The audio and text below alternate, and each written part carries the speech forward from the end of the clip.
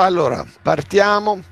Emanuele noi generalmente dividiamo in due parti, ma eh, tu puoi dividerlo anche in quattro parti, dare delle pause maggiori come preferisci. Allora, diamo tutti il benvenuto a Emanuele Boccanfuso, disegnatore di un'autorevolissima casa editrice italiana, anzi la storica casa editrice italiana del fumetto che è la Bonelli.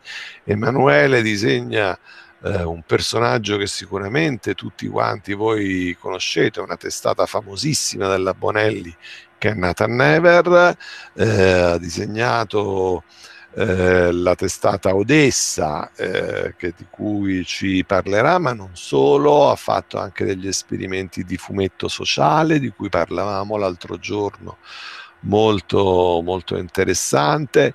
È un disegnatore ricchissimo di riferimenti, ne abbiamo parlato nel nostro incontro, eh, una serie di riferimenti che fanno parte del, del mio immaginario, ma anche del suo e, dei, e, e del grande mondo del fumetto, che, di cui poi insomma e della cinematografia, perché come vi diceva anche Ca- Carmine, il fumetto è il gemello del, del cinema, non è né il fratello minore né un'altra cosa, insomma, è un linguaggio molto vicino alla cinematografia.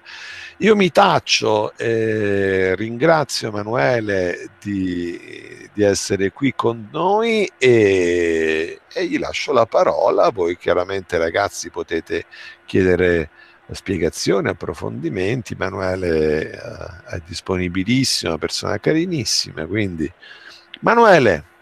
Eccoci qui. Lascio a te.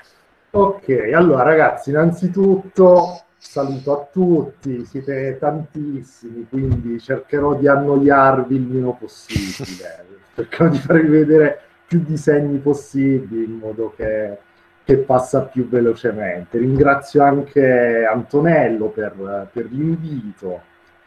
Allora ragazzi, io inizierei parlandovi un attimino di come si è snodata la mia carriera da, dagli inizi. No? Uh, io ho iniziato primi anni del 2000. Io ho sempre voluto fare fumetti, proprio da quando ero piccolo. È una frase che avrete sentito ripetere da tutti quelli che fanno questo lavoro. In effetti è veramente un qualcosa di innato. Io veramente ho sempre utilizzato, diciamo, la, la particolarità è che non è che mi piaceva disegnare già da quando ero piccolo, mi piaceva proprio mettere tutto in dei riquadri essendo portato proprio a quello che è il fumetto, l'arte sequenziale, quindi magari anche disegnare non benissimo come si può fare a 5-6 anni, ma raccontare qualcosa, ma sempre, mi è sempre interessata quella, in quell'ottica lì il disegno. Quindi dopo aver fatto ovviamente liceo artistico a Taranto, io sono di Taranto, anche se vivo a Milano da più di vent'anni, ma dall'accento non, non si direbbe. Eh, ho fatto la scuola del fumetto di Milano, che all'epoca, parliamo del 99, era forse l'unica. Adesso ogni città ha una scuola del fumetto, il che è molto buono per, per il movimento e ho preso questa decisione, cioè volevo farne una professione. Quindi ho fatto questo corso di tre anni, ovviamente mi è stato molto utile. E dopodiché mi sono ritrovato ovviamente nella giungla del, del dover uh, cercare di mantenersi facendo questo lavoro quindi, diciamo, è stato un percorso veramente tortuoso. Al fumetto ci sono arrivato dopo parecchi anni dalla fine della scuola, non abbandonandolo mai. Però c'è da dire che con le nozioni eh, che si hanno col fumetto, frequentando una scuola di fumetto, veramente ci si può adattare un po' a tutte le ramificazioni del, del visivo, del lavorare eh, di avere una professione legata alla creatività e soprattutto al visivo. Quindi ho lavorato tantissimo con le agenzie pubblicitarie. all'inizio ovviamente io mi sono trovato in quelle annate in cui non sono assolutamente un nativo digitale, ma si iniziava ad utilizzarlo. Io questa cosa ne parlavo con Antonello, ne soffro tantissimo ancora adesso, perché veramente col computer sono una pippa. Ovviamente mi sono proposto di fare tutto quello che si poteva fare ancora in analogico finché sarà possibile. Ovvio, pian piano l'indirizzo è quello, passare al digitale. Per ora lo utilizzo per cose per cui non ne posso fare a meno, quindi scansionare, impaginare, pulire la tavola, mettere dei retini in digitale dove, dove possibile. E ovviamente essendo anch'io un professore mi sono dovuto proprio fare violenza e in questo periodo di pandemia fare le correzioni digitali, importare, utilizzare Clip Studio Paint che è molto simile a Photoshop, eh, però un po' più indicato per, per chi fa proprio i fumetti e quindi diciamo le mie prime esperienze sono state con le agenzie pubblicitarie. Anche lì, eh, ripeto, mh, la formazione da fumettista mi è stata molto utile perché i codici sono quelli, le inquadrature, partendo dai campi lunghi, i primi piani, sono quelle relative al cinema e quindi anche quelle del, dello spot televisivo. Quindi utilizzare una data inquadratura per trasmettere la tale emozione nel piano quando bisogna trasmettere in maniera più decisa l'emozione di un personaggio oppure se dobbiamo dare un senso di rilassatezza i campi lunghi che tendono a creare quiete quindi uh, tutto questo è molto importante proprio perché eh, noi da creativi dobbiamo visualizzare sempre l'idea. Lo storyboard per cosa viene utilizzato? Adesso viene utilizzato un po' di meno, però è per passare le informazioni al regista che deve girare uno spot o appunto deve comporlo in digitale. Quindi è lo stesso meccanismo che si può avere con le sceneggiature fumettistiche, in cui vengono date delle indicazioni, in questo caso al disegnatore, tramite dei codici ben precisi, che sono le inquadrature, il disegnatore si mette lì a cercare di visualizzare quella che è l'idea dello sceneggiatore. Uno dei passi iniziali, magari inizio a condividere lo schermo così posso mostrare qualcosa,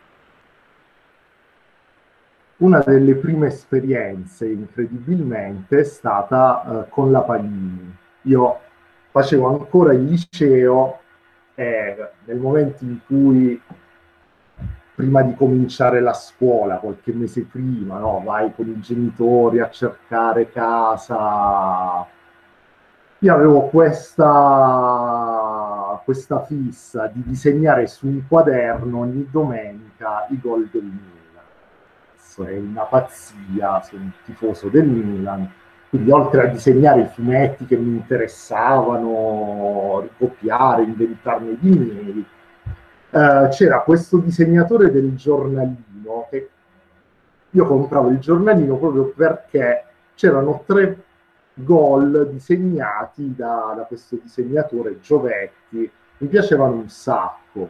Quindi ho detto, vabbè, perché non tentare? Compravo questa rivista Forza Milan e ho proposto un attimino quelli, quelli che erano questi disegni, non sapendo che la rivista faceva parte del gruppo editoriale della Panini. Quindi ancora dovevo uh, diventare maggiorenne e sono andato a propormi in maniera ovviamente maccheronica alla, alla casa editrice, facendo vedere disegni del genere. Forse qualcuno di voi si è appassionato, li ha visti sulla gazzetta o riviste del genere. quindi diciamo il mio primo lavoro nel momento in cui ero ancora studente era proprio questo qui con, con questa rivista. Bellissima, assolutamente Dopo... dinamici, stupende. Sì, sì, ti ringrazio, ti ringrazio. Quindi diciamo è stata una fortuna assolutamente non cercata in questo caso perché eh, essendo la Panini una grandissima casa editrice ho avuto la possibilità di iniziare a lavorare pian piano uh, su cose un po' più grosse, quindi anche collezioni di figurine uh, relative a, um, a, eventi come potevano essere gli europei, i mondiali di calcio. Quindi ho avuto la, la fortuna di iniziare a fare delle buone collaborazioni già nel periodo in cui ero studente. L'obiettivo però era veramente prima o poi cominciare a fare fumetti, perché è proprio quello che ho sempre voluto fare, cioè cominciare ad essere pagato per fare i fumetti, ovviamente. I, i fumetti li ho sempre fatti. Vedo che c'è un'alzata di mano. Prego. Marica, prego. Forse Marica il yeah. microfono. Marica? Si è addormentato dopo aver alzato la mano. Eccola qui. No, mi scusi, era una che non volevo premere niente. Uh, ah, è, ok, è, è confusa. e quindi diciamo in parallelo con queste attività che mi permettevano anche di riempire il frigorifero, cioè una parte importante, no? se si vuole diventare professionisti, essere pagati per quello che si fa. Quindi nel frattempo che lavoravo uh, come illustratore per riviste, um, storyboardista per uh, le agenzie pubblicitarie, continuavo a riempire il faldone che viene dedicato agli esordienti che si propongono in Bonelli andando a far vedere a uh, quello che adesso è il redattore di, di Nathan Never, Glauco Guardigli, tutto ciò che, che, che, facevo lavorativamente e non, proprio per rimpinguare uh, questo, questo, faldone, no? che poi veniva visionato e magari ti davano l'occasione di partire a disegnare uno dei personaggi della, della Bonelli. Io mh, mm, adesso vi farei vedere un attimino, anche per farvi vedere un attimo quello che è il mio stile di disegno, quelli che sono anche un attimino i miei riferimenti. Uh, vi farei vedere un artbook che ho realizzato qualche anno fa, nel 2015.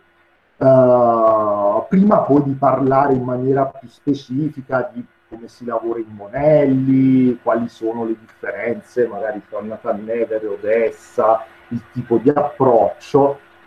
Farei vedere questo artbook che mi riporta anche in maniera molto malinconica a ricordare quando si facevano le fiere, che speriamo che riprendano presto. Quindi diciamo a un certo punto, con qualche annetto di carriera alle spalle, mh, ho deciso di fare Uh, un omaggio a quelli che erano i miei riferimenti dal punto di vista fumettistico, cinematografico. Vedrete che saranno dei riferimenti molto tamarri, proprio per parlare chiaro. Uh, però insomma, mh, mm, visualizzo, vi faccio vedere proprio l'impaginato, che è quello che comunque è più semplice da, da visualizzare sul PC vedete c'era una prima pagina dedicata allo sketch, no? chi acquistava l'artbook poi aveva giustamente diritto uno sketch veloce richiedendo un personaggio, quindi di solito negli artbook la prima pagina viene sempre eh, lasciata bianca per, per questo tipo di, di possibilità. La prima è una doppia splash con, avrete potuto intravedere, una tartaruga ninja, in questo caso Leonardo, oppure cercato di tenere sulla pagina sinistra uh, un attimino di work in progress con il disegno a matita mh, mm, e poi un, un, successivo ripasso a china iniziale senza riempire i neri. In questo caso abbiamo Pegasus dei Cavalieri dello Zodiaco ed ecco qui la versione definitiva. Men, come vedete sono proprio un figlio degli anni 80, 90. Vedete, anche in questo caso, sempre far vedere il procedimento di lavoro, in questo caso la bozza preparatoria a matita, e poi il disegno definitivo, l'omaggio definitivo a quest'altro personaggio.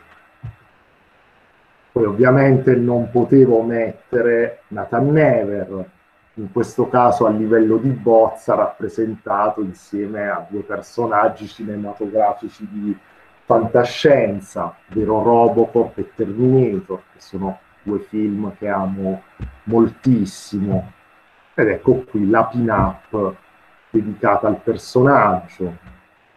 Vedete comunque ne parleremo, si intravede già una delle caratteristiche di, questo fumetto, oltre uh, ad essere un fumetto di, di fantascienza, uh, c'è quest'animo cupo del personaggio, piove molto spesso, una fantascienza uh, molto legata all'immaginario di Blade Runner Infatti stavo per chiederti questo, Emanuele, è, è, è molto, cioè l'idea dell'ambientazione è molto Blade Runner.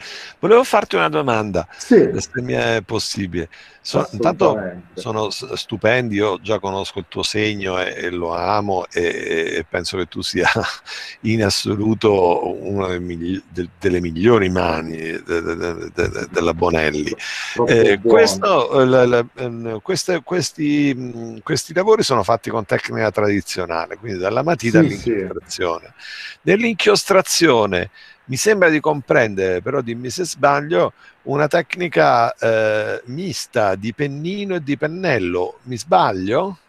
Allora, sì, per questione di velocità, più che il pennino, proprio utilizzo i pennarelli, quelli Pigma o Stedler, uh, di, di, varie misure, quindi da 0,1 per i dettagli, ad esempio, del volto a 0305 per modulare più il tratto.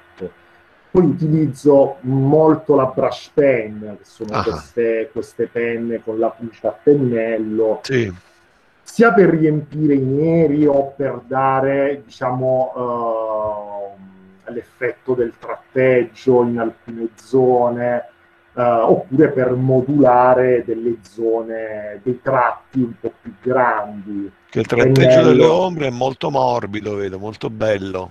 Sì, sì, poi magari alcune volte viene anche ripreso proprio brutalmente con righe squadra, magari per tirare un po' di più la linea, uh, però diciamo più o meno sono questi gli strumenti che utilizzo. Poi magari per zone più ampie di nero vado proprio con la classica boccetta di inchiostro di china e pennello a riempire uh, queste zone più ampie.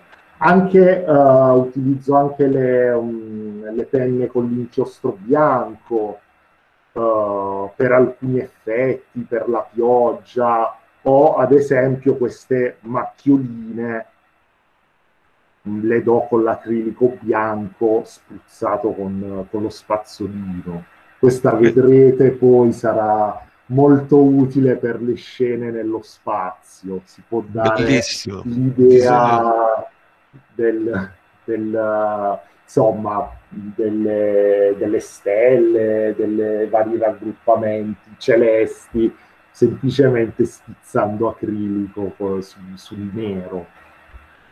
Dicevi Antonello? No, dico bellissimo, mi piace tantissimo la tua plasticità, guarda, veramente. Ti ringrazio, ti ringrazio. Molto, molto bella.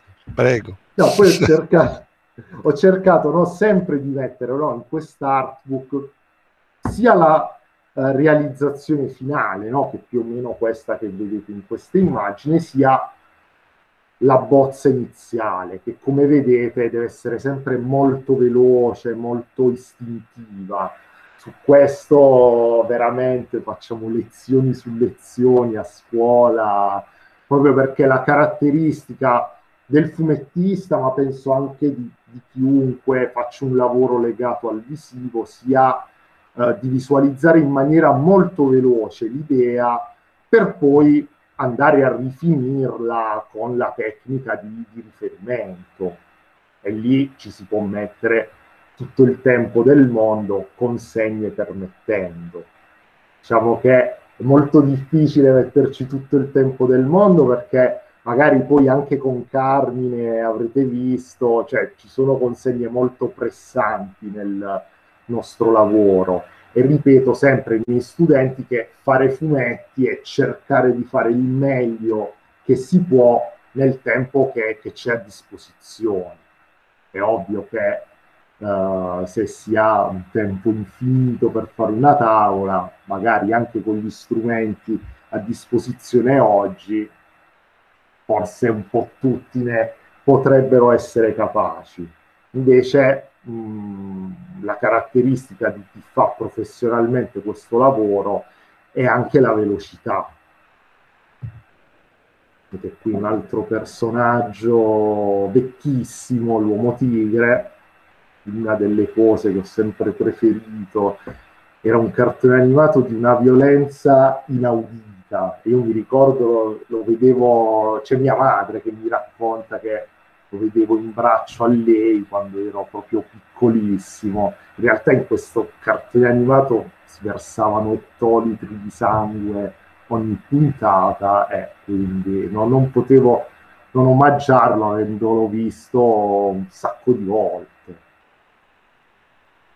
Questo invece è un fumetto di cui parleremo un po' più avanti, è una delle mie prime non autoproduzioni, comunque è stato prodotto da una casa editrice che adesso è anche abbastanza importante, la Nicola Pesce Editore, eh, con eh, il, lo sceneggiatore Alex Scrippa abbiamo avuto questa pazza idea di fare un fumetto palindromo, in cui Uh, già dal titolo uh, palindrome sono quelle frasi o parole che si leggono nella stessa maniera da una parte e dall'altra. Il fumetto si chiama Arca Sacra e anch'esso appunto si legge da una parte e dall'altra allo stesso modo e uh, vi faccio vedere anche un attimo come è conformato, che può essere... La caratteristica di questo fumetto era che si poteva iniziare a leggere da una parte o girandolo dall'altra. Le due storie che avevano come protagonista, come potete vedere, una suora e una prostituta, andavano a incontrarsi poi al centro, dove c'era una doppia splash, la doppia splash page è una pagina che prende due fogli, quindi l'apertura totale dell'albo.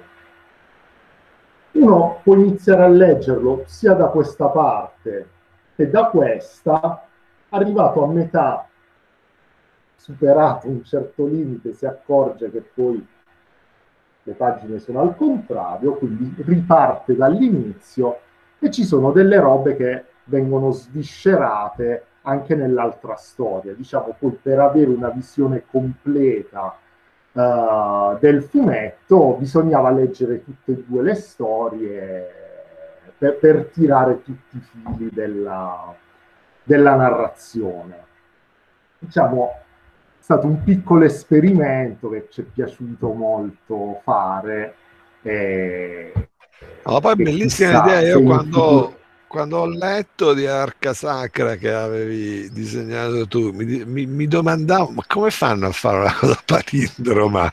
Cioè, anche scrivere, intrecciare due storie e, e, e, dare questo senso circolare alla lettura, non riuscivo a capire come fosse possibile. Capito? No, no, ma infatti cioè, Alex è stato proprio geniale. Anche in termini di scrittura, difficilissimo. Non... Sì, sì, sì, diciamo che ovviamente nella narrazione era un po' il canovaccio no? ad essere palindromo, poi diciamo la narrazione all'interno è, è abbastanza lineare, però diciamo abbiamo potuto sperimentare perché ad esempio eh, c'è una scena uh, che magari vediamo dal lato del, della narrazione dedicata ovviamente le protagoniste si chiamano Anna e Ada abbiamo preso i primi due nomi palindromi che ci sono venuti in mente. Eh, ad esempio la scena, uh, c'è una scena in soggettiva e poi un'altra che invece viene ripresa dall'esterno e anche lì è uno snodo della storia, vediamo da due punti di vista diversi. Mi è stata data la, la, possibilità di uh, lavorare su ambienti tutti reali. Quindi il fumetto è ambientato in Puglia e quindi sono andato a fare foto in giro come, come documentazione, è stato diciamo molto divertente. Eh, ad ogni diciamo, ambiente che troviamo all'interno della storia corrisponde un ambiente reale io mi ricordo c'è la casa del boss che era una sala ricevimenti, io ero andato al matrimonio di un mio amico e fotografavo questo salone pensando, ah questa potrebbe essere un'ottima location per la casa del boss, quindi quindi qui vedete uno studio a matita e poi la pin-up completa ovviamente vedrete, vedete che anche qui temi non sono da graphic novel intimista, ma cerchiamo sempre di metterci un po' d'azione. Poi appunto non avendo i paletti che si possono avere con una grossa casa editrice, non abbiamo avuto nessun tipo di censura e siamo potuti andare diciamo col, con l'acceleratore tirato per raccontare una storia anch'essa a tema sociale, perché tratta lo sfruttamento della prostituzione e insomma dando un po' di pugni nello stomaco al lettore per far arrivare meglio il, il messaggio. Andiamo avanti. C'è un, uh, questo personaggio della Marvel che è Punisher, Vedete, qui addirittura ho voluto mettere la bozza iniziale, quella in cui si scarabocchia finché non viene fuori una forma che ci soddisfi, per poi andare a rifinire tutto col tratteggio, con delle linee più pulite.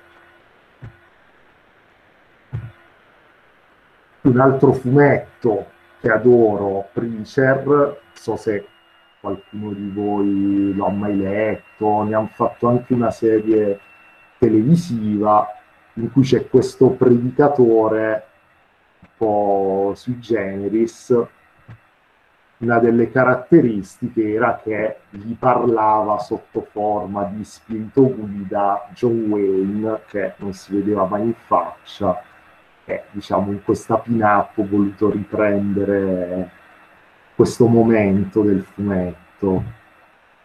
Oppure, penso lo conosciate tutti, Dylan Dog, è stato forse il primo fumetto un po' più da adulti che ho iniziato a leggere intorno agli 11-12 anni e da lì proprio ho deciso che avrei voluto disegnare in Bonelli. Uh, poi magari ne parliamo, ma uh, il, um, la gabbia Bonelli, ovvero la disposizione delle vignette, è forse quella di più facile lettura, proprio perché parliamo di fumetto popolare. Uh, la Bonelli fa fumetto popolare a partire dai prezzi, cioè sono ancora prezzi accessibilissimi, adesso siamo su 3,90 euro, mi pare 4 euro comunque costa ancora meno di una pinta di birra ed è un qualcosa che, che ti rimane per sempre. È un fumetto che può leggere il, uh, il lettore occasionale, eh, che era la grande forza del, della casa editrice, eh, ma anche appunto il lettore affezionato, collezionista, eh, per cui ha avuto subito un impatto molto forte su di me, proprio perché era molto semplice da leggere pur avendo delle tematiche che magari per l'età che avevo erano un po' più adulte. E ovviamente, essendo Dylan Dog uh, londinese, non potevo, eh, ed essendo un fumetto a tema horror, ci ho fatto la regina in versione zombie, Dylan Dog che svolge un po' quello che è il suo lavoro, no? la chiappa mostri, incubi, eccetera. E qui un dettaglio della matita. Bellissimo. Eh, Radostin voleva farti una domanda? Eh, Radostin? Uh, sì, sì, sì, sì. Eh, volevo chiedere a Manuele, sì. innanzitutto ciao, buongiorno. Ciao. Eh, ho visto appunto questa tavola che hai fatto del Dylan Dog e compare nello sfondo anche Carlo, come si chiama? Karl Marx, eh, no? Groucho sì, Marx. Sì, Groucho Marx. Ecco, sto pensando, siccome è un, una persona che esiste veramente, anche se è morto, è un grande, mm-hmm. però quando devi fare una smorfia sua che magari non c'è nelle foto, nei, nei, film, no? Come fai a disegnare quella smorfia se non l'hai mai vista sull'attore? Allora. Cioè, te lo immagini, come fai? a riproporlo allora, nel fumetto? No, c'è un piccolo trucchetto che quasi tutti i disegnatori hanno sulla scrivania uno specchio, in modo che quando devono riproporre una, un'espressione che magari non trovano tramite reference fotografiche, praticamente la mimano e poi la adattano alla, alle fattezze del personaggio che, che devono disegnare. Quindi diciamo uno dei metodi è questo, proprio mimare la, l'espressione che bisogna fare. È una cosa che vista dall'esterno uno dice, oddio, questo è pazzo, però è una delle robe che, che, fanno più o meno tutti i disegnatori. Però è bello che funziona proprio su persone che esistono veramente, realmente. E questa è la cosa sì, sì, sì. Sì, diciamo poi appunto la, diciamo, la maestria del disegnatore deve stare nell'adattare l'espressione mia, ad esempio, in questo caso, ha un tizio con i baffi, i capelli, um, delle caratteristiche diverse, no? facciali. Però i muscoli facciali sono sempre quelli, le rughe sono sempre quelle, poi variano a seconda dell'età. No, no perché stavo pensando, che ne so, a un attore con una faccia, con una fisionomia molto particolare, no? Hai presente gli attori caratteristici nei film, no? Sì, sì. Quelli, se trovi, cioè se non trovi una smorfia, perché magari è morto quell'attore, no? Però nei mm. suoi film o nelle sue fotografie non è ritratto proprio in quella smorfia, uno dice, ma come faccio? Eh Quindi sì, posso allora, adottare tutti questi espedienti, ma poi alla fine, se c'è delle robe strane, appunto, diciamo, nel, nel particolare, tu vai con la fotoreference dell'attore che vuoi, che vuoi riproporre e la smorfia la riproduci tu ti guardi allo specchio e cerchi di adattarla al disegno dell'attore. Perfetto, perfetto. Grazie mille Emanuele. Eh, figurati.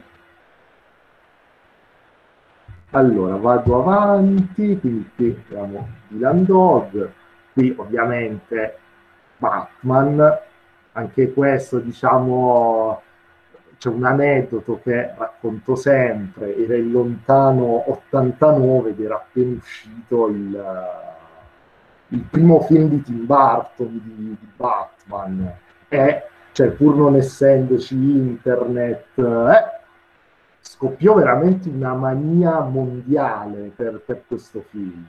Mi ricordo, volevo lo zaino di Batman, avevo otto anni all'epoca, la maglietta, c'erano le sorprese nelle merendine, gli album di figurine. Quindi per Natale avevo chiesto ai miei di regalarmi uno di quei libri fotografici che si fanno per i film. Cioè per me Batman era quello interpretato da Michael, da Michael Keaton.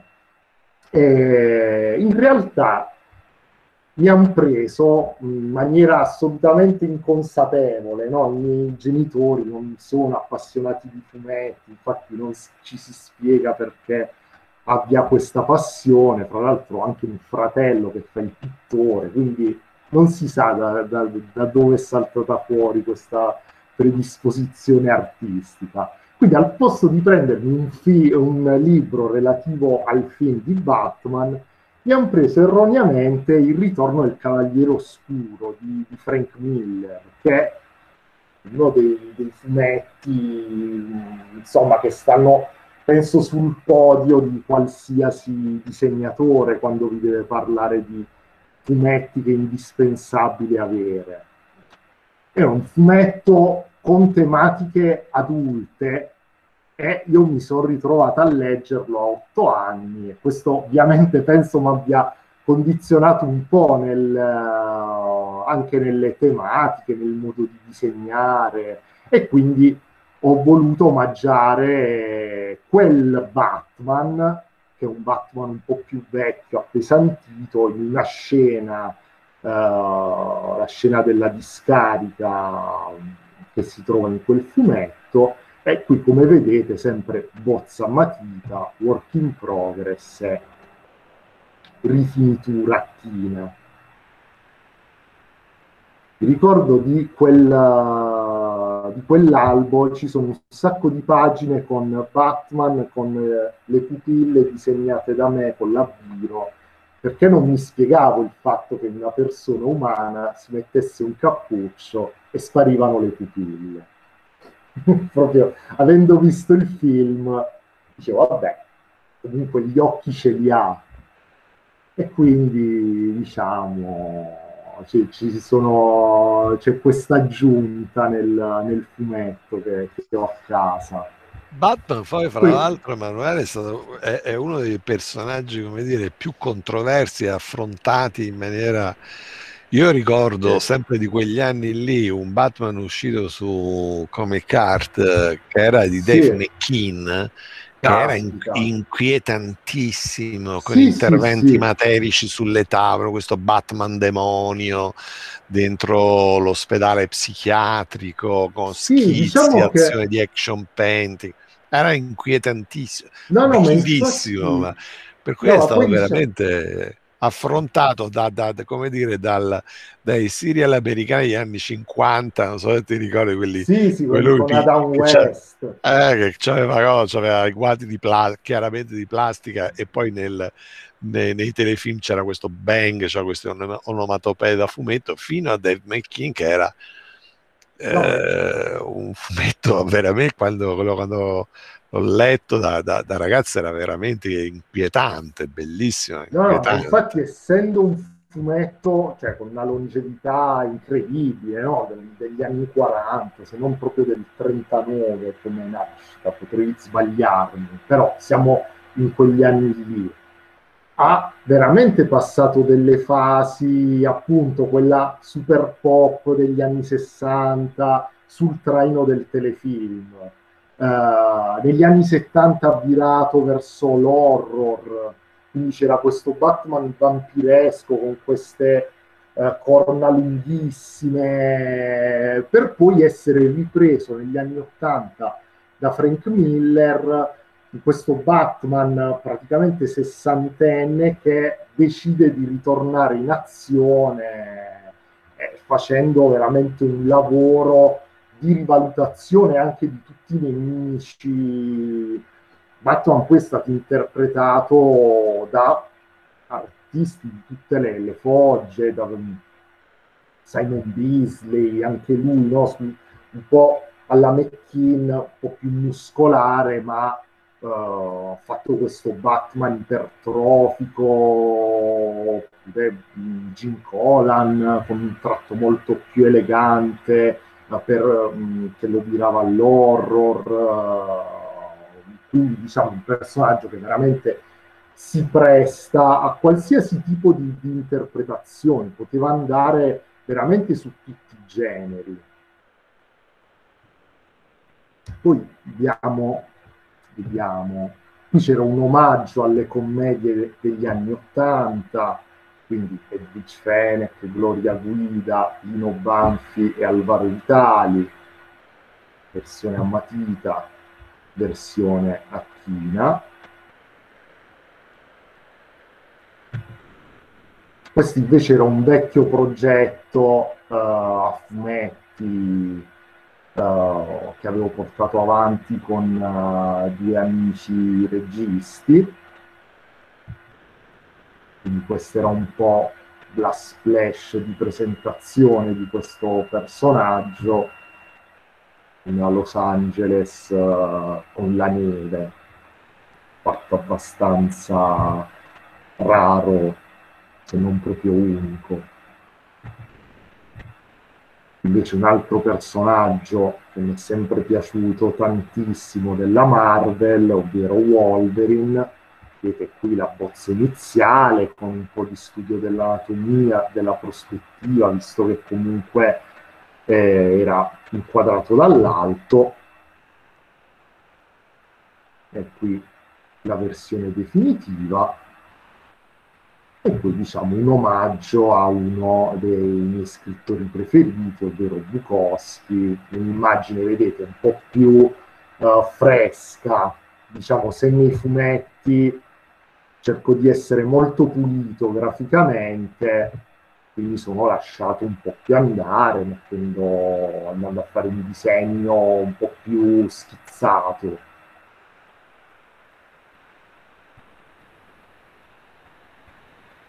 diciamo questa mi sembrava un'ottima occasione per farvi vedere un attimino anche quello che è il mio stile di disegno, no? prima di entrare più incisivamente nel capitolo fumetto.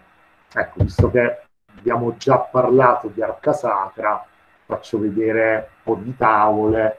Le tavole sono mor- molto acerbe, erano proprio a inizio carriera vedete qui abbiamo le due copertine lato Anna e lato Ada anzi lato Anna e lato Ada e qui era proprio come si presenta fisicamente ho pensato di farvi vedere qualche tavola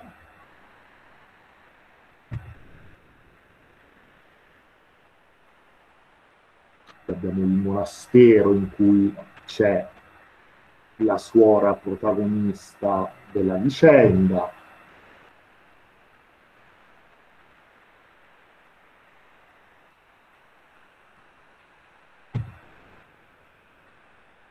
E questa caratteristica della suora che ogni tanto parla con questo Gesù Cristo che gli suggerisce delle cose.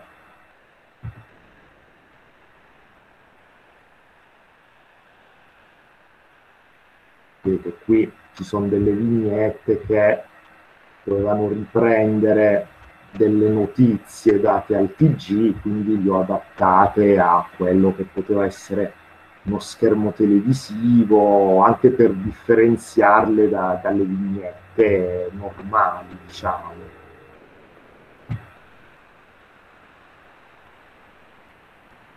Quindi vedete, rispetto anche alla pin-up, che sono le illustrazioni che vi ho fatto vedere uh, all'interno dell'artbook, nel fumetto bisogna iniziare a fare attenzione a veramente un sacco di particolari.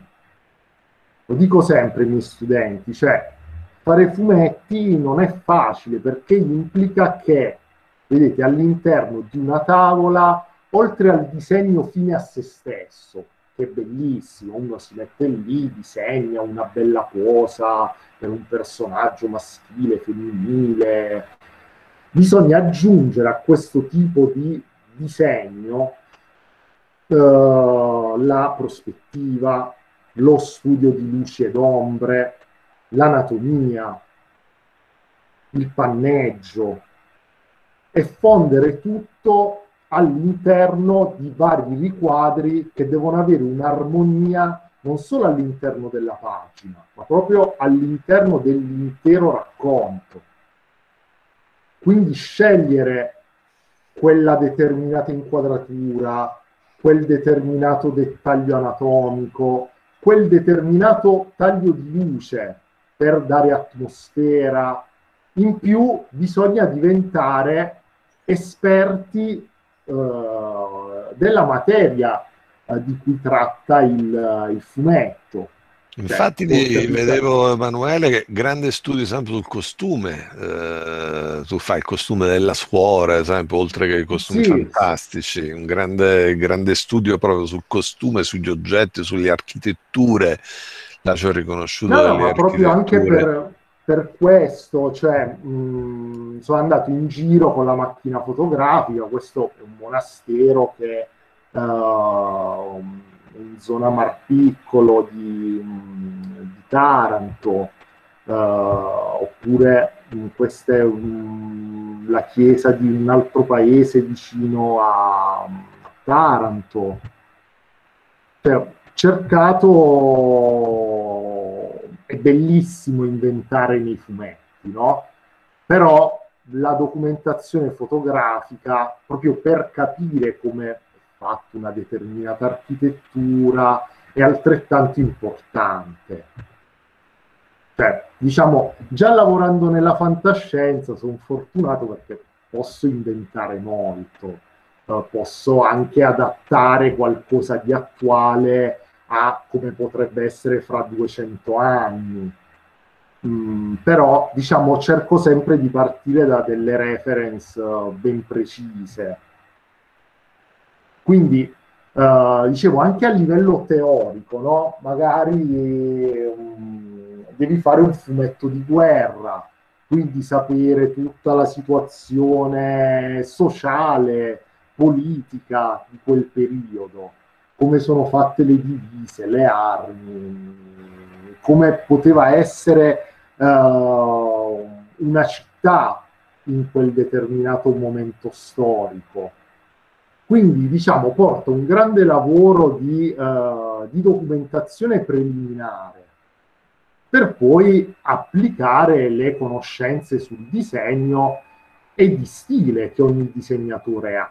Cioè, una storia del genere poteva essere anche fatta con uno stile umoristico, perché no?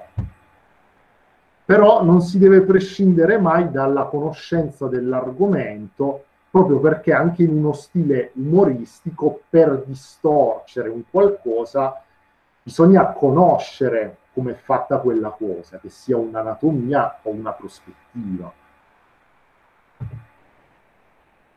Qui abbiamo, questo era il lato dedicato alla suora, vi ho evitato le, le scene più cruente.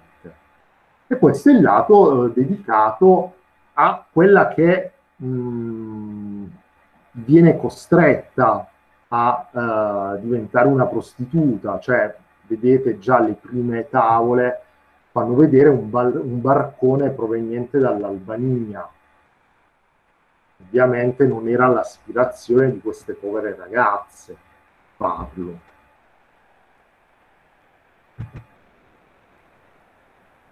Quindi qui c'è tutta la scena relativa a, all'arrivo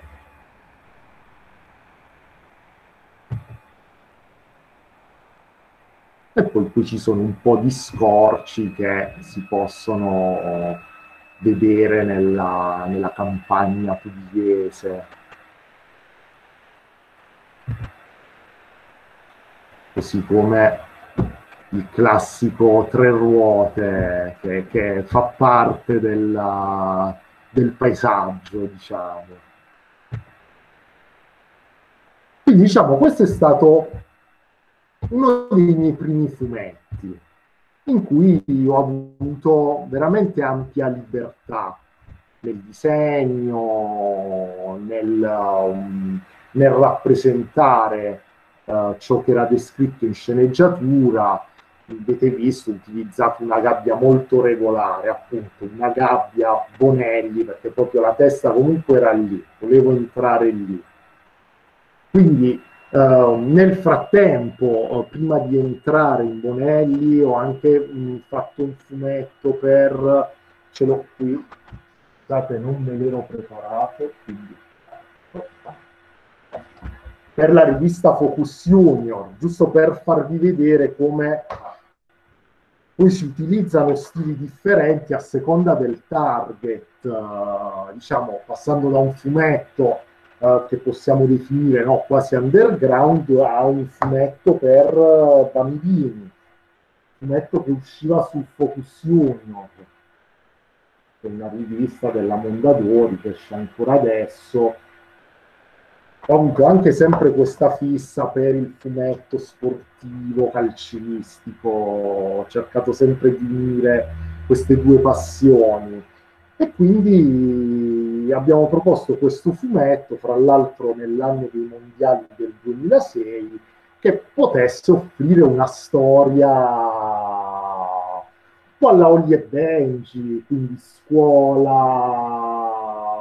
storielle fra gli alunni, quello un po' più fighetto, quello un po' più sfigatino, i vari stereotipi che, che ci sono e abbiamo fatto questo fumetto sempre in salsa nostrana, quindi le ambientazioni erano quelle classiche del paesino italiano, col campetto dell'oratorio, la scuola, il motorino, tutte queste robe qui. Quindi diciamo è stata un'altra incursione in un tipo di fumetto che mi sono adattato a fare, mi è piaciuto molto comunque. Uh, quindi vedete c'è uno stile di disegno molto diverso da quello utilizzato ad esempio per Arcasafra. Uno dei passaggi anche per arrivare in Bonelli è stato collaborare con questa casa editrice inglese la David West uh, Children's Book, che ho conosciuto alla Fiera di Bologna, alla Fiera del Libro per Ragazzi, che appunto ovviamente quest'anno, l'anno scorso, è saltata, magari è un qualcosa che può anche interessarvi di più per il vostro percorso di studi. Uh, è una fiera che adesso che riprenderanno un po' le attività normali, speriamo al più presto, vi consiglio tantissimo. Ci sono, è a Bologna, di solito è appunto in, uh, in questo periodo dell'anno, marzo-aprile, e ci sono tutte le case editrici di libri per ragazzi di tutto il mondo e avete la possibilità di girare col vostro book a uh, far vedere quelli che sono un po' i vostri lavori di illustrazione, che siano analogici o digitali. È vero che adesso via mail si può fare tutto, però ancora il contatto umano con l'editore conta molto, ve lo posso assicurare. Quindi il fatto di presentare, far vedere quello che fate, presentarlo come un buon portfolio e comunque ci sono anche tutte quelle piccole um, sfumature che possono derivare solo dalla conoscenza personale um, con un editore, con un agente. Infatti, cioè, io veramente uh, a quei tempi la giravo come, come turista quasi, ma ho visto che c'era una casa editrice che faceva anche fumetti aveva questo modo di interfacciarsi con la scolastica, uh, col linguaggio dei fumetti, quindi spiegava dei mestieri particolari o delle biografie di personaggi storici. E anche lì sono entrati in contatto con un modo diverso di fare fumetti, molto uh, teso a favorire il disegnatore è la prima volta, e non è mai più successo, forse l'hanno anche adottata per eh, lavorare in maniera più fluida con collaboratori stranieri, magari non sai benissimo la lingua. Allora cosa facevano? Invece di darmi solo una sceneggiatura scritta, la sceneggiatura dei fumetti proprio pagina 1, vignetta 1, descrizione dell'inquadratura, dell'ambiente, dei personaggi e dialoghi. Invece di darmi solo la sceneggiatura scritta, mi davano già degli storyboard fatti da un altro disegnatore che io dovevo solo portare a definitivo. Questo mi alleggeriva molto il compito perché invece di leggere, tradurre, uh, impostare io la pagina, me la impostava già un altro e io dando un'occhiata a ciò che c'era scritto nei balloon, che sono le nuvolette di dialogo che ci sono nei fumetti, e un'occhiata alla sceneggiatura, potevo accelerare di molto il lavoro. La ricerca di documentazione me la facevano già loro. Una cosa che poi non mi è più capitata, diciamo, a questo livello. Vedete, erano libri, in questo caso la biografia di Malcolm X, in cui questa biografia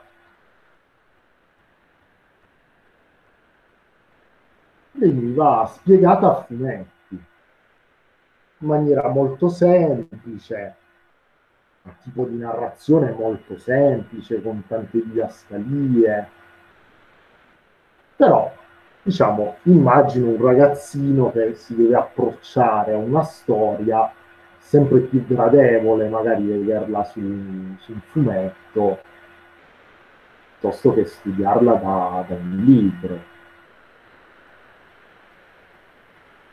Quindi diciamo c'è stata anche questo tipo di esperienza. Veramente ho fatto di tutto prima di fare i fumetti per la Bonelli e diciamo farla diventare la mia attività principale, no? insieme a quella eh, dell'insegnante.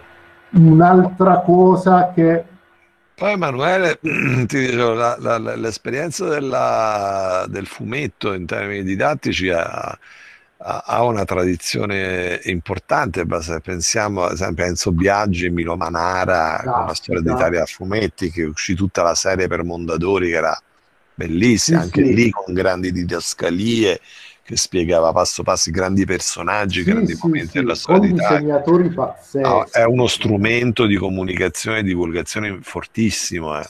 Sì, sì, sì, no, che per fortuna utilizzato anche adesso, che veramente, cioè, nell'era dei social è sempre più difficile, no? Anche far leggere quattro pagine di fumetto no? deve essere tutto velocissimo, eh, però diciamo ancora per strumenti di, divulgativi è molto utilizzato il fumetto e soprattutto molto più richiesto che in passato, proprio perché diciamo adesso il fumetto ha anche una, una gratificazione generale, no? è un po' più riconosciuto come arte se veramente prima, quando ero piccolo io, era veramente qualcosa, il fumetto una roba per bambini. Poi a otto anni ho letto Frank Miller, ho detto col cavolo che è una roba per bambini. E adesso, diciamo, mh, mm, essendo un po' più sdoganate le graphic novel o personaggi grandiosi come Zero Calcare, Gipi, eh, che hanno avuto la possibilità uh, con una notorietà maggiore di dare quest'idea di fumetto che può raccontare anche robe serie, eh, molto intime e personali, anche ridendoci su, come fa Zero Calcare. Uh, diciamo che adesso c'è un maggior riconoscimento de, del fumetto proprio come, come linguaggio Basti poi anche pensare che ormai al cinema forse più della metà delle robe che vediamo sono tratte da, da fumetti, quindi sono anche un ottimo spunto, a parte i cinecomic della, della Marvel, ma diciamo anche molti film drammatici, poi vai a vedere, sono tratti da graphic novel, uh, storie a fumetti, libri one shot, uh, quindi senza avere una tradizione come può avere la Marvel, la DC, eh, con uh, tutto quello che hanno potuto dare a livello proprio di idee al, uh, al cinema. Per esempio, un'altra roba che mi è capitata di fare, uh, proprio per ricollegare sempre il fatto che il mondo del visivo è sempre collegato, cioè le nozioni che uh, devo buttare dentro per fare una pagina di fumetti sono le stesse, magari togliendo qualcosa o aggiungendo qualcosa che eh, dovrò utilizzare per uh, delle illustrazioni. È capitato qualche anno fa uh, ho dovuto preparare un uh, disegno che sarebbe stato poi utilizzato come scenografia in un film di Salvatores, che è l'ultimo, il penultimo che ha fatto uh, Tutto il mio folle amore si chiama, uscito forse un paio d'anni fa. Uh, c'era appunto una scena in cui si doveva vedere uh, la segnaletica, la locandina di un, un locale di lap dance e quindi dovevo realizzare questa illustrazione che poi sullo schermo cinematografico veniva ingrandita, era sto, sto segnale che si vedeva su una strada della Croazia, mi pare, con questa ballerina di lap dance gigantesca. Vedete, lo studio è sempre quello. Matita, china, pulita, e poi la colorazione digitale che non ho fatto io ma la mia validissima collega Valentina Grassini. E anche per questa singola immagine abbiamo avuto un sacco di uh, documentazione da parte della produzione la tizia doveva essere così, doveva avere i capelli biondi, doveva ricordare un po' le pin-up anni 50, doveva avere questo tipo di scarpa, questo tipo di top, questo tipo di uh, culotte. Era veramente uh, un lavoro che è stato giustamente, no? qui siamo nell'ambito della professionalità, quasi teleguidato doveva avere questa posa, diciamo essere professionisti e anche sapersi mettere al servizio di quello che viene richiesto in maniera appunto professionale e applicare tutte le conoscenze che, che si hanno. Che vedete in una singola immagine senza sfondo, senza niente di, di particolare. Ok? Ci sono domande, ragazzi?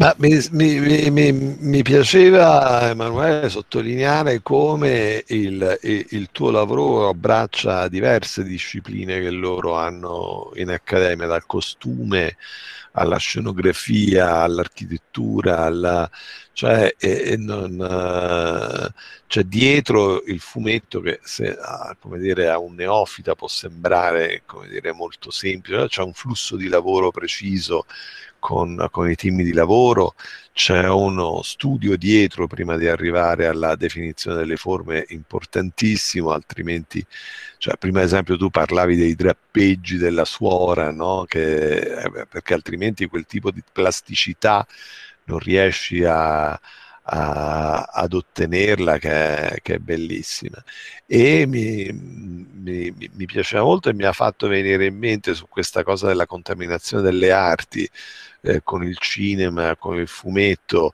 e la capacità del fumetto di raccontare anche biografie che sono state affrontate anche nel cinema, mi, mi veniva in mente Billy Holiday fatto da José Muñoz, ad esempio, che ha un segno jazz, no? Se tu pensi il jazz, quanto è stato affrontato nel cinema dal primo film fono- sonoro del, del Jack Singer, no? del, del cantante jazz dove gli attori erano ancora bianchi pitturati di nero, no?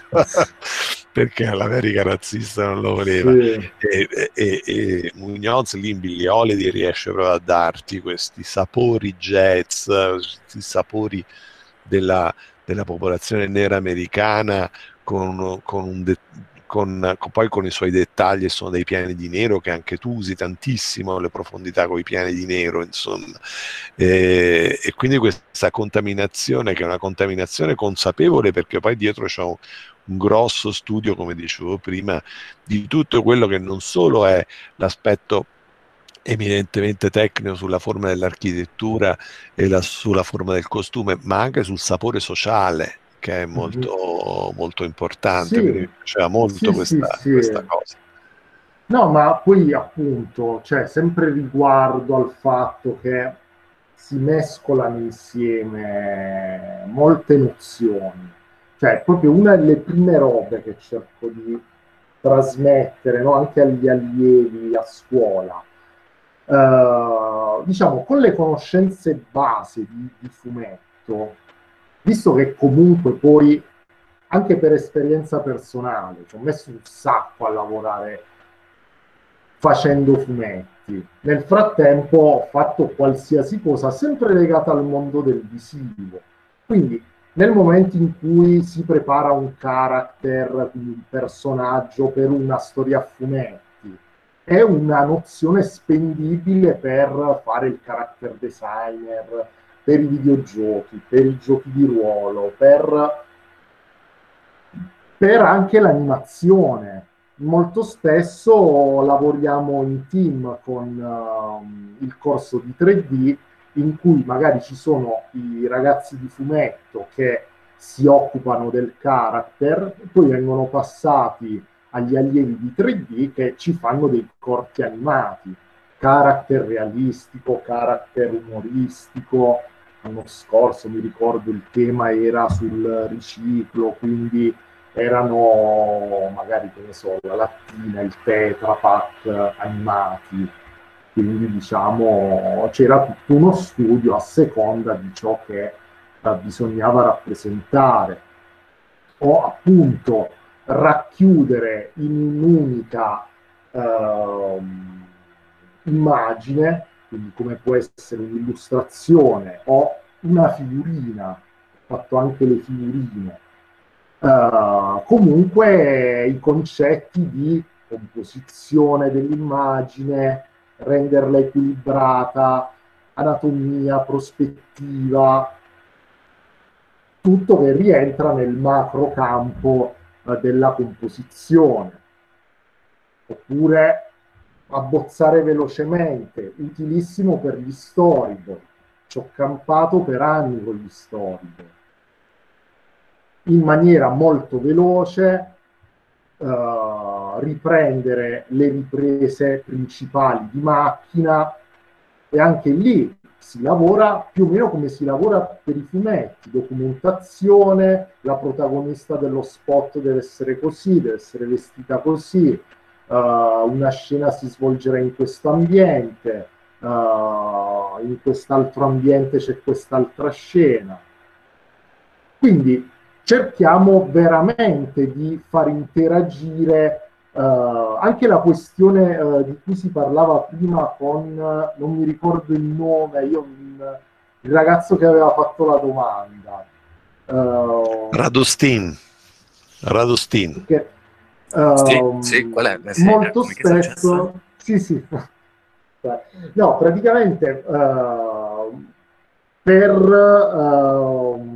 lavorare bene sull'espressività dei personaggi, Ecco, altra cosa no? che bisogna applicare nel fumetto, il personaggio recita, quindi come gesticola, come, quali sono le sue espressioni, no? E quindi magari si fanno dei laboratori con i ragazzi di teatro che gli mimano l'espressione che devono riprendere poi nel fumetto e quindi c'è anche questo tipo di... Uh, di approccio al lavoro. È veramente un, un'arte, il fumetto che racchiude tutto. Bisogna sapere fare un po' di tutto, proprio perché è come se girassimo un film, ma siamo noi gli sceneggiatori, i responsabili del casting. Ah, questo personaggio lo vedrei interpretato da Bruce Willis, perché ha queste caratteristiche qui oppure eh, tecnico delle luci, regista, scegli le inquadrature. Quindi diciamo è un bel lavoraccio. Sembra, Infatti nella, nella, nella, tavola, quella della, della, suora del fumetto palindromo, c'è, c'è una, eh, una tavola di quelle che hai fatto vedere, c'è una drammaturgia della luce molto importante, con questi tagli molto netti dove si vedono soltanto gli occhi.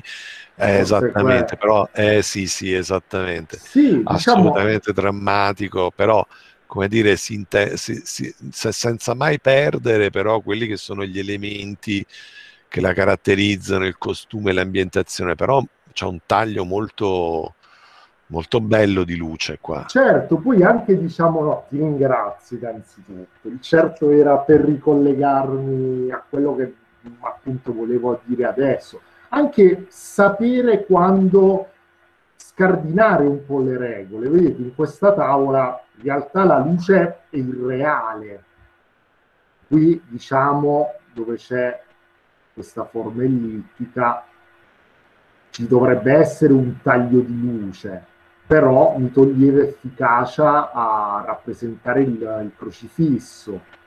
Oppure, appunto, come diceva Antonello, Queste, uh, questi volti completamente neri, in realtà qualcosina si dovrebbe vedere, o questa silhouette, però per fini drammatici possiamo interpretare, proprio imparare le regole per poi scardinarle a seconda mi, di... Mi premeva, Emanuele, se mi permetti, far notare una cosa agli studenti sulla uh, vignetta in alto, che eh, tu ribalti in quel caso proprio per motivi drammaturgici quella che è la regola per cui tutto ciò che è scuro va in fondo eh, sta in fondo e tutto ciò che è chiaro sta avanti. Quindi secondo la regola la parte in fondo sarebbe dovuta essere più scura e la parte più chiara più avanti. In realtà tu ribalti questa cosa perché ti interessa far uscire quel crocifisso sì, cioè sì. focalizzare l'attenzione su quell'area lì no? Quindi sì, utilizzi la regola al contrario, quindi quando eh, noi vi spieghiamo le regole, quella è la regola, ma poi il, il sapere dell'artista è anche us- prendere quella regola e stravolgere relativamente a quella che è la sua necessità narrativa. No, assolutamente, assolutamente. Allora, ragazzi, se volete, e se Antonello è d'accordo, possiamo fare una pausa ditemi voi di quanto. Va e benissimo. partiamo a bomba con la Bonelli. Benissimo, va eh. bene. Allora ci diamo una decina di minuti di pausa, ragazzi, Perfetto. così anche Emanuele riprende fiato. Eh, sì, sì, bevo eh, due litri d'acqua. Anch'io ho i miei due litri d'acqua e adesso sono le dieci e mezzo e quindi riprendiamo per diciamo un quarto d'ora, 10.32 e riprendiamo alle 10.45. Va bene? Ok, a tra poco. Se avete domande, pre- preparatevele. Assolutamente.